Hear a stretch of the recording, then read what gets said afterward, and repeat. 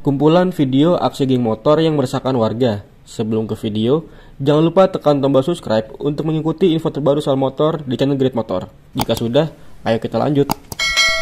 Aksi geng motor kembali ramai terjadi belakangan ini. Banyak berita bermunculan soal aksi geng motor tersebut di beberapa daerah di Indonesia.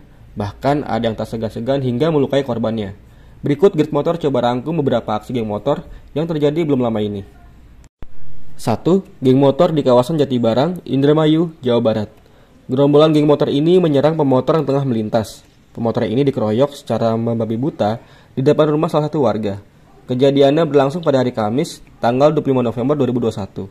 Di dalam rekaman kamera CCTV, terlihat gerombolan geng motor menyerang pemotor, seperti yang diposting oleh akun Instagram @andreli underscore 48.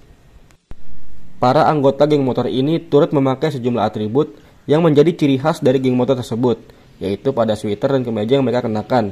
Bahkan mereka membawa bendera berwarna ungu, putih, dan hitam yang merupakan identitas lain dari geng motor tersebut. Untungnya, Satreskrim Polres Indramayu telah berhasil mengamankan 11 orang yang diduga sebagai pelaku. 2. Gerombolan geng motor teriak paket di depan rumah warga. Yang satu ini bikin gak habis pikir sekaligus juga membahayakan. Video ini diunggah oleh akun Instagram @fakta.jakarta. Di dalam video ini, Tampak tiga motor ditumpangi oleh enam remaja. Mereka bertiak paket berkali-kali, layaknya seorang kurir pengantar paket. Paket. Depanan kita, depanan kita, depanan. Paket. Gerombolan geng motor ini juga berulang kali sembari menyalakan klakson motor. Tak lama mereka pun pergi meninggalkan lokasi. Dikutip dari keterangan, video geng motor membawa celurit ini terjadi di dekat SMPN 28 Cibubur, Jakarta Timur. Peristiwa ini berlangsung pada hari Kamis, 25 November 2021 pada malam hari. 3. Geng motor di Goa serang warga. Yang belum lama ini terjadi ada di daerah Goa, Sulawesi Selatan. Sekelompok geng motor nekat menyerang warga hingga terluka.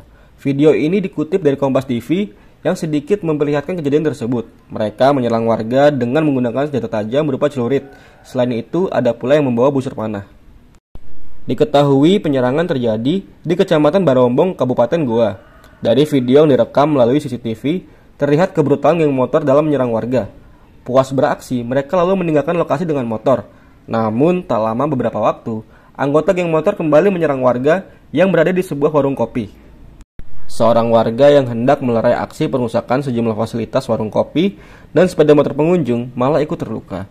Kepolisian Polres Goa kini masih menyelidiki motif penyerangan itu dan telah mengambil keterangan saksi serta mengumpulkan bukti rekaman CCTV. Sekian dulu video kumpulan aksi geng motor yang meresahkan warga belakangan ini. Jangan lupa like, komen, dan subscribe, serta nyalakan lonceng pemberitahuan di channel Grid Motor. Sampai jumpa!